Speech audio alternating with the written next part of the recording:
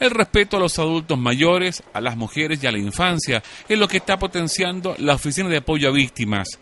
Ana Cuadros se reunió con adultos mayores de la provincia de San Felipe, donde se realizó una jornada de inducción y capacitación.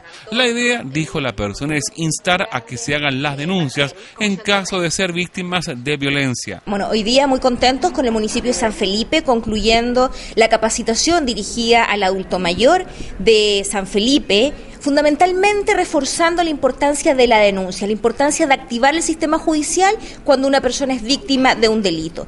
Esto ha sido una capacitación continua, partimos el año pasado ya con sobre prevención, también dirigido a la comunidad y hoy día ya vamos viendo, bueno, qué pasa cuando nos afectó la delincuencia y qué tenemos que hacer respecto de eso. ¿Es muy común que los adultos mayores sean maltratados? Es común que como sociedad los vayamos dejando un poco de lado y que no los convoquemos a este tipo de capacitaciones. Se trata de personas mayores, pero sí que están en condiciones sanas y con muchas ganas sobre todo de aprender y además de colaborar con las instituciones. ¿En qué sentido? En replicar también, no olvidemos que se trata de dirigentes, en replicar en la comunidad en general qué hacer frente a una situación de este tipo. Dentro, dentro del porcentaje, eh, los adultos mayores, ¿en qué cifras están ellos en tema de denuncia dentro de la familia?